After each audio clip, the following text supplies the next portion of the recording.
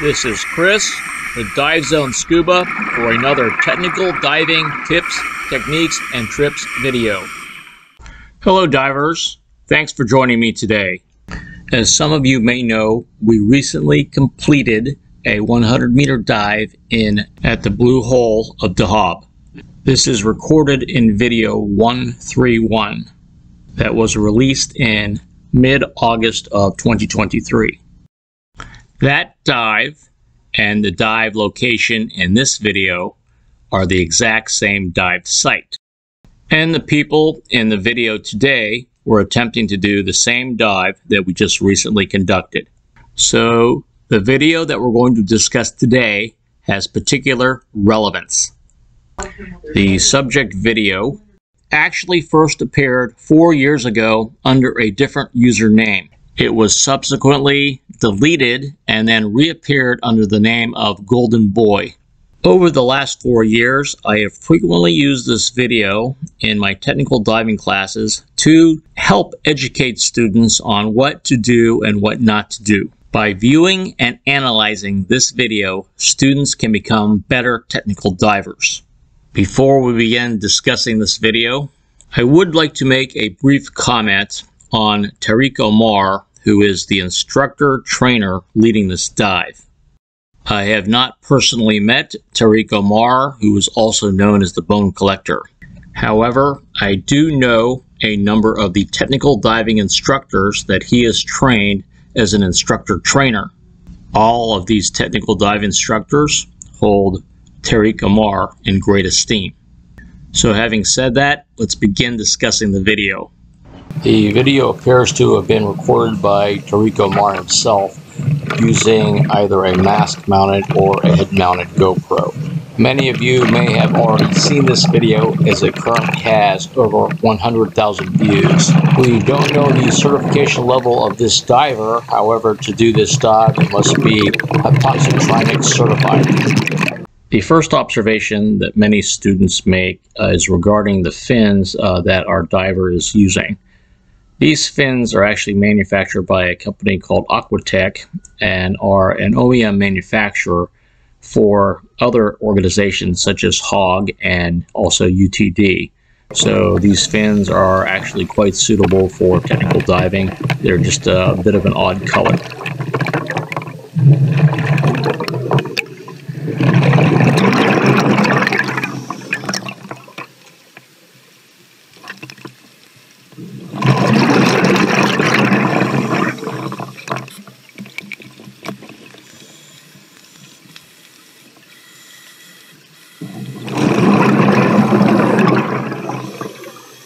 We see the first of many issues uh, in this shot. The second stage is twisted in the diver's mouth, and this is caused by the fact that the hose is not led around his neck. Instead, the hose is led directly to the tank, which is in a right-hand carry position. There's nothing wrong in having a tank in the right-hand carry position, uh, just not in this manner. The tank is being carried in a very low position and we will see why this is in a later shot. And of course the diver's trim is all off.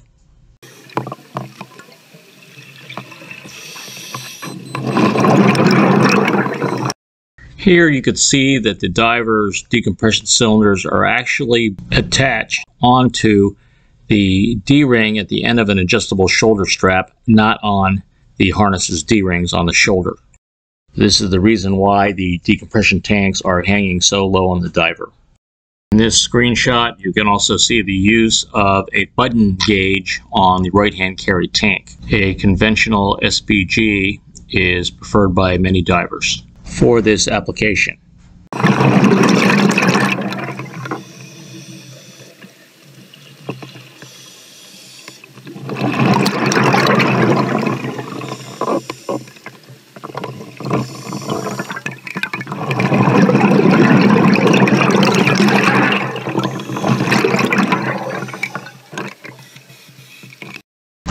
In this screenshot, you can see the diver's primary back gas pressure gauge is shoulder mounted rather than being mounted in the conventional position on a longer hose on the left hip D-ring.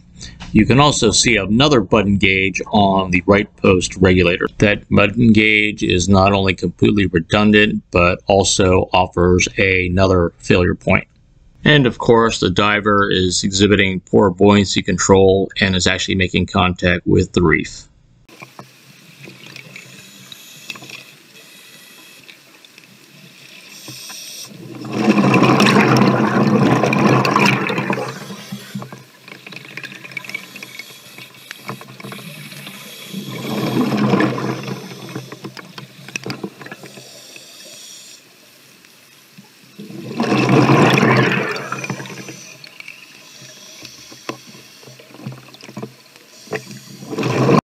In this screenshot, we see the other diver who was doing both left and right hand carry, uh, but in addition, he appears to be trailing a uh, aluminum 46 liter uh, oxygen bottle in the trailing position between his legs. This diver is also exhibiting the same poor trim.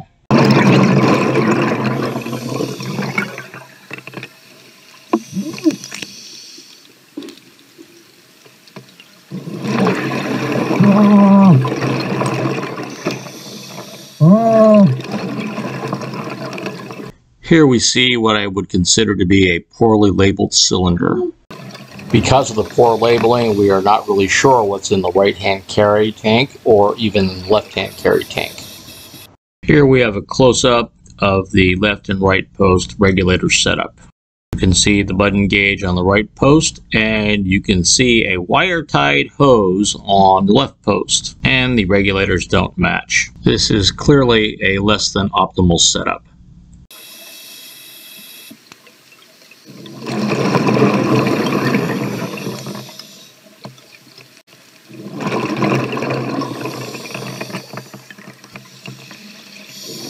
Ooh.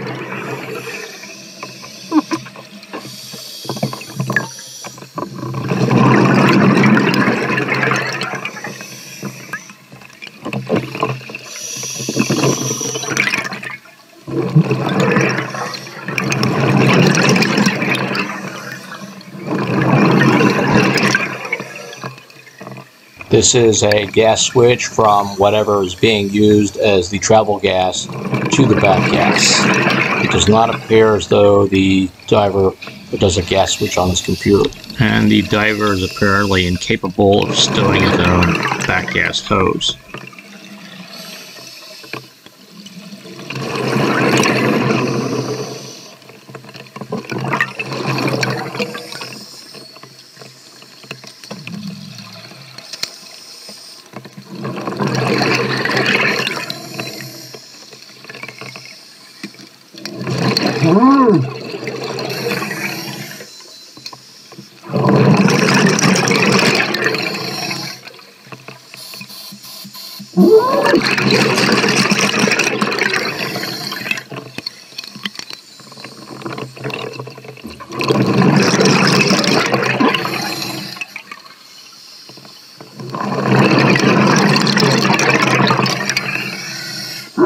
Oh!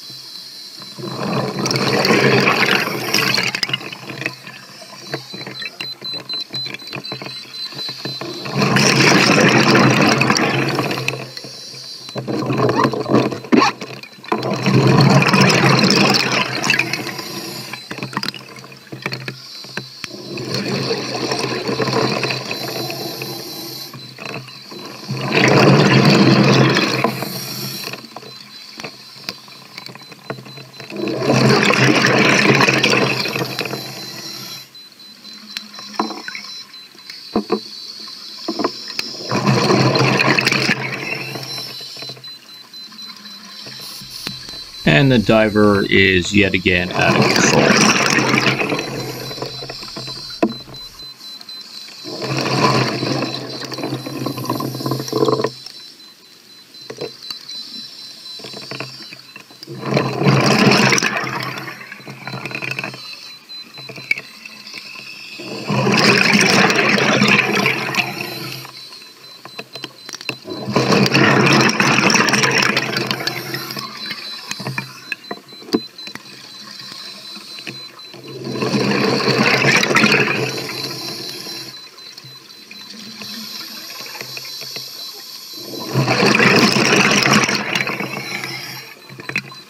The other diver's O2 tank leash appears to be too long and also appears to be boosted as it uh, is quite negative. A substantially negative tank on a leash uh, can be very difficult to handle.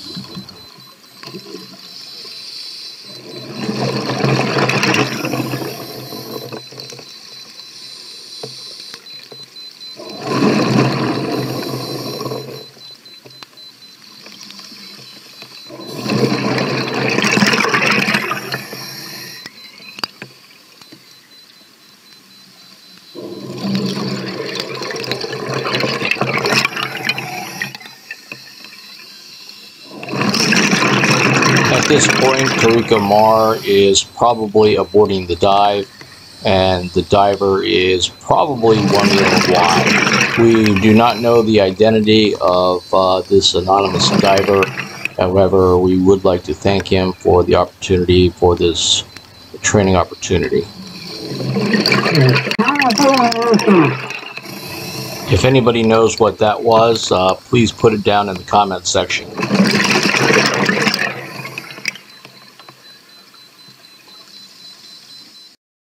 Technical diving students should be able to identify the following issues in this video. This is Chris with Dive Zone Scuba. Thanks for watching and please subscribe.